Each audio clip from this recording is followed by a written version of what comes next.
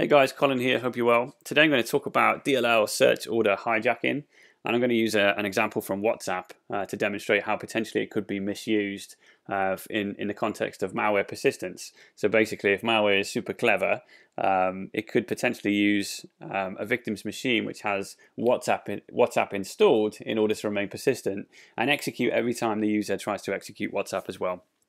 Uh, but first off, I'm going to talk about what DLL search order hijacking is, and then we'll have some fun with WhatsApp uh, and see where we can uh, we can go with it. So DLL search order, what does it mean? Well, basically, if you're writing an application in Windows, um, and if, if, you reference uh, an external library, which undoubtedly and invariably you will, um, the chances are that you need to load that library from a particular lo location. Um, a lot of DLLs, as you'll know, um, exist in the Windows System 32 folder uh, and other folders um, for, for various different applications, but um, most commonly the, the, the, Microsoft API calls and stuff like that you'll need are from DLLs that you'll find in the System 32 folder. So if you load a, a, a DLL, um, you should realistically give it the fully qualified path of where you're loading that DLL from uh, into, into your program uh, when you're writing it.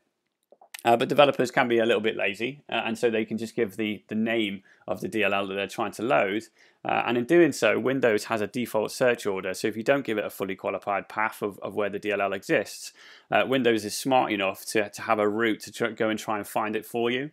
Uh, and the root, uh, they have this uh, search order which is considered safe in Windows uh, because they have this, uh, they, they recognize that this is a potential um, issue, DLL search order hijacking.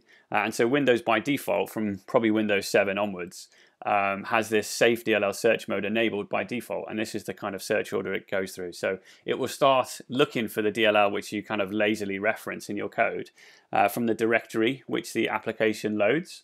Um, if it can't find it in there, it goes to System 32 because most commonly that's where it's going to be. Uh, then it tries the system folder, then it tries Windows, then it tries the current working directory. And if it still can't find it there, uh, it will try all of the directories that listed, listed in your path environment variable as well.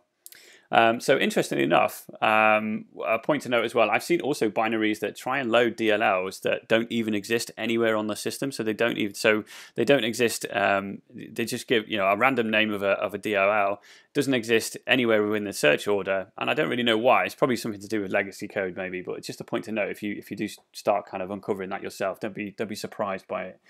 Um, but interestingly enough, there's um, I was looking at WhatsApp uh, and it tries to reference uh, quite a number of DLLs quite lazily, um, and therefore it traverses this particular safe search order. So uh, it tries to load a DLL um, and it looks first in the directory from, the, from which the, the application loads. So if we're, if we're using WhatsApp for Windows, which is what I'm talking about here, uh, it starts to look in the application folder for, for WhatsApp. And that just so happens to be a user writable location, which I'll show you in just a second. Uh, so that can be quite dangerous. Um, so just consider this is the attack scenario we're going to look at. The victim has got WhatsApp, WhatsApp installed uh, on their Windows machine. They receive a phishing email with a malicious attachment, or they click a link in the um, in the email which which downloads some file or whatever.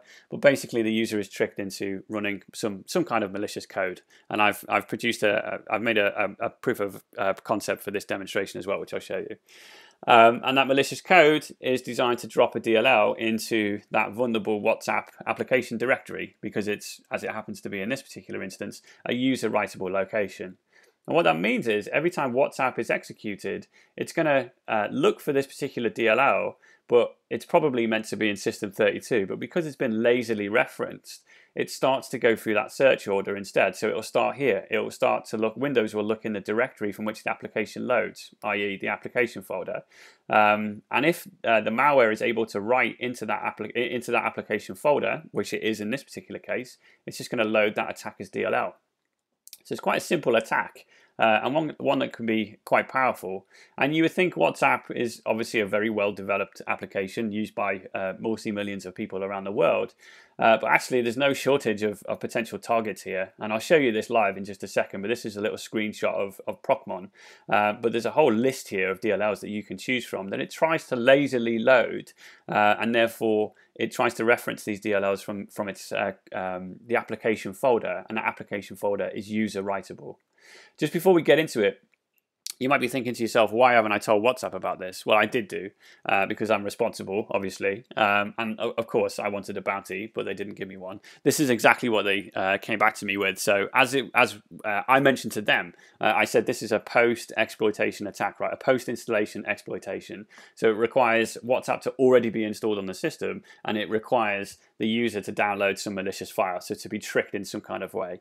But because of that, because it's a social engineering attack, uh, if you like, against the Facebook user, i.e., WhatsApp user, they're not interested. So they appreciate it, but it doesn't qualify for any kind of uh, remediation or, in this case, bounty. So just bear that in mind. So I did tell them about it, so I'm not being, uh, you know, silly and just disclosing something which uh, they should they should fix. But I think they should fix this, and maybe this is half of the reason for maybe making the video, but we'll see.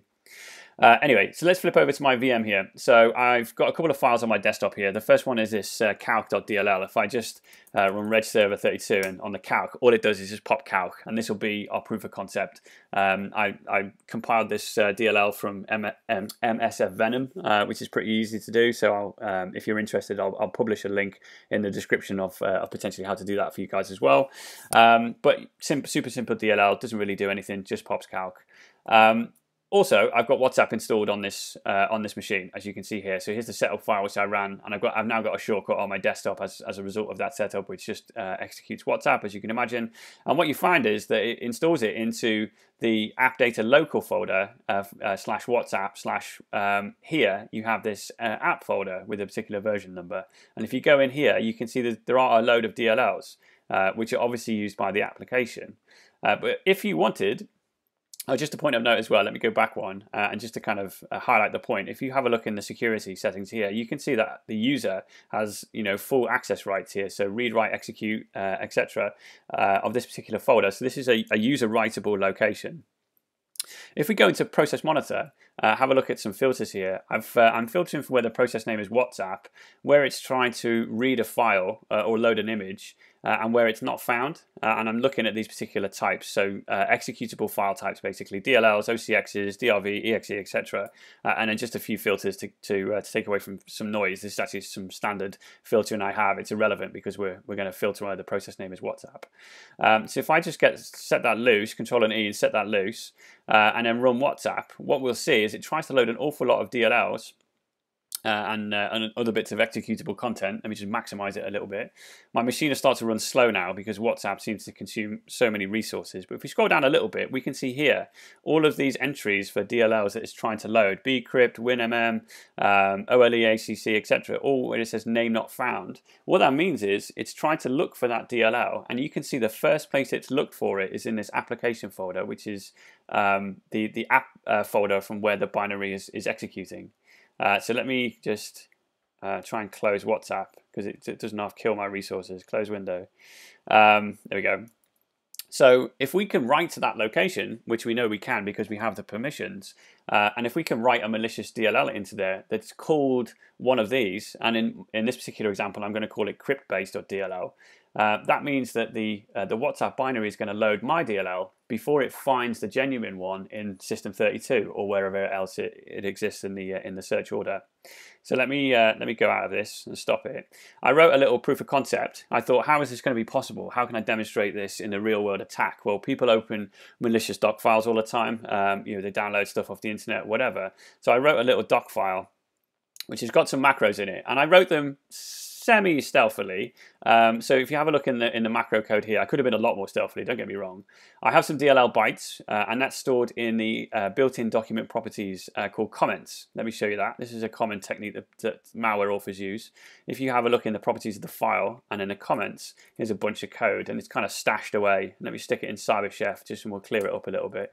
Um, so from base64, which is what I did, I base64 encoded this this massive big string, and you can already see here 4D5A 90 blah blah blah. So we we've already got like executable content here, uh, and it's just as you can see, it's split with uh, with pipes. Let me uh, change it to uh, space. space.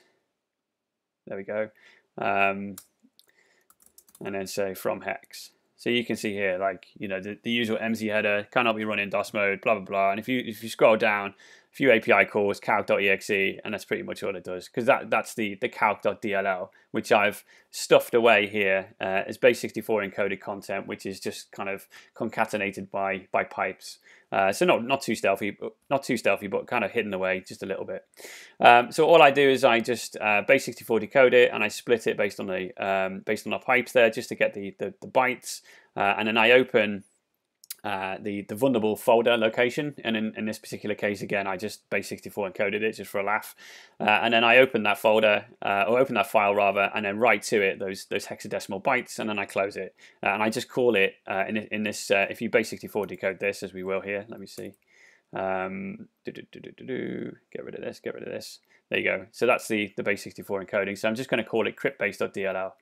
Um, so let me come out of that and let's exit this and we'll open the folder up just so we can kind of monitor for being written here. So we'll have we should the the DLL should pop up here as we as we open the document. So let me just put the document on my screen here, enable macros, as all users do, and then hopefully see we get cryptbase.dll that that fires. So that's the malware now embedded. The malware is not executed on the machine because it relies on WhatsApp to be uh, executed. So we just come out of that. So that means that if I now load WhatsApp, calc fires because it's loaded my malicious DLL in the background. Uh, and therefore, that's like a persistence mechanism. Every time the user tries to load WhatsApp, my malware is going to fire in the background. Now, in this particular instance, it doesn't do anything malicious, obviously, because it's calc, but it just show, shows you the, uh, the potential uh, of what could happen because the application doesn't have any permissions around the folder where it looks for DLLs, but also it kind of lazily loads those DLLs from rather than given uh, the fully qualified path of System32. Uh, it kind of relies on the Windows default search order, and that's not always a good thing, especially if uh, that location is a user writable location. So, uh, out of interest, I did uh, submit to VirusTotal that particular Word doc file. Uh, it got some reasonable detection, 15 out of 59, but you know I expect that to probably grow. But you know, Microsoft, McAfee's the world, Malwarebytes, etc., saw that as clean. Probably because it's it, just pops calc, because it's nothing too malicious. But I thought just out of interest, I'll run it through the scanners just to see, you know, the potential uh, of how you know real world that potential phishing attack could be, and it just shows you that uh, that there is potential there. Let's just talk about uh, a little bit about remediation. Um, really, what you should do wherever possible, specify that fully qualified path uh, when you use uh, a call to load library, load library X, create process, or shell execute. Uh, and also, there's a there's a tool uh, that you can test your application against from Microsoft uh, called CWD CWD illegal in DLL search, which is the current working directory in illegal in DLL search. So that just makes that illegal in the search order path uh, and therefore it's, it's something else that you can try and protect yourself against from from uh, lazily loading DLLs. Uh, and there's loads more tips as well. So there's uh, a link here which I'll share in the description of the video uh, from Microsoft and also from binaryplanting.com as well, which has uh, got some guidelines for developers. A little bit out of date, but all still relevant in terms of um, in terms of best practice for how to write code as well. So anyway, I hope that was interesting to you. I, I certainly have some fun with it, um, and hopefully you never know one day WhatsApp might fix it. But if not, um, maybe malware guys guys will probably use it for persistence. Who knows? Anyway, thanks, guys. See you soon.